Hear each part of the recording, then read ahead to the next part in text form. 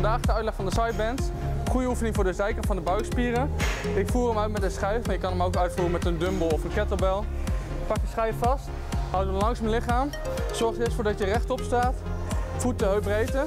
Wat je dan doet, is je laat deze schijf langs je been glijden en je komt weer terug. Hier ga je nog net iets verder dan recht, om even die zijkant van de buik even goed aan te spannen. Laat hem teruggaan en span aan. Deze arm laat je gewoon langs je lichaam. En je laat hem eigenlijk langs je lichaam glijden.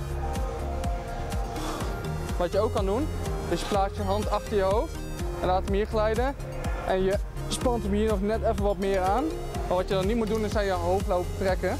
Alles komt wel vanuit je buik. Dus vanuit je buik kom je hier naartoe en rustig terug.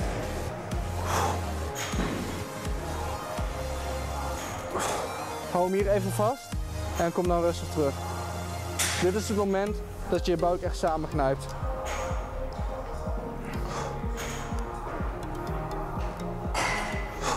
Nou, voor de andere kant is het natuurlijk precies hetzelfde. Pak hem hier vast, laat hem glijden en knijp hem daar samen.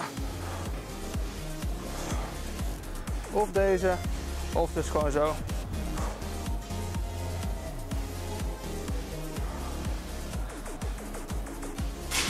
Dit was de uitleg van de sidebands. Goede oefening voor de zijkant van de buikspieren. Mocht je nou meer video's van ons willen zien, abonneer je dan op ons kanaal en dan zie ik je bij de volgende video. Succes!